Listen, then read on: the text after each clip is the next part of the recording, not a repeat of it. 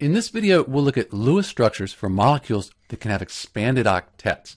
So the first thing we need to know is which elements can have expanded octets. Let's go to the periodic table here. So when we talk about Lewis structures for expanded octets, we're going down one, two, three. This is the third period on the periodic table. So elements in the third period and below, and mainly we're looking over here, they can have expanded octets. And that's because they have d orbitals. So there's some electrons in the d orbitals that are available for bonding that allows us to have expanded octets. The two you really want to watch out for, phosphorus and sulfur. We'll see these quite often in chemistry. So let's take a look at an example. Let's take a look at the sulfate ion.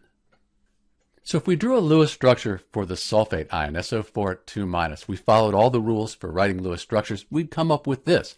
We've used all the valence electrons. Each oxygen, that has an octet. Sulfur, it has an octet. This looks like a pretty good Lewis structure. But since we have the sulfur, we should check the formal charges. That's the tool that we're going to use to figure out if we need an expanded octet. So whenever I see sulfur, I start thinking about formal charges.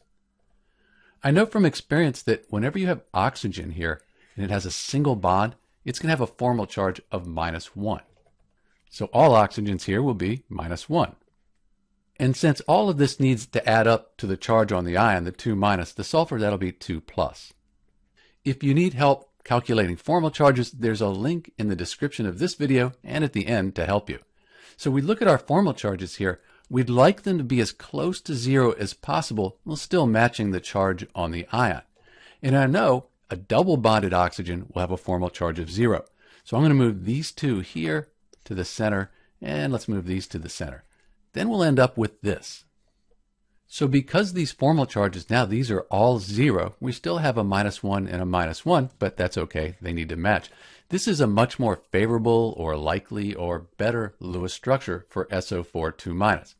So when we think about Lewis structures and expanded octets, formal charges, they allow us to figure out, do we need to have an expanded octet? In some cases, we will. When you see things like sulfur and phosphorus, it's a good idea to check. Sometimes you'll see structures where you know you have to have an expanded octet. For example, if you had phosphorus pentachloride, that's going to have to have an expanded octet because you're going to need more than four bonds. So you'll have at least 10 valence electrons around the phosphorus. Something like SF6, you know you have an expanded octet. But in the cases you're not sure, formal charges can help you figure out whether you need to have that expanded octet or not in your Lewis structure. This is Dr. B talking about expanded octets and Lewis structures. Thanks for watching.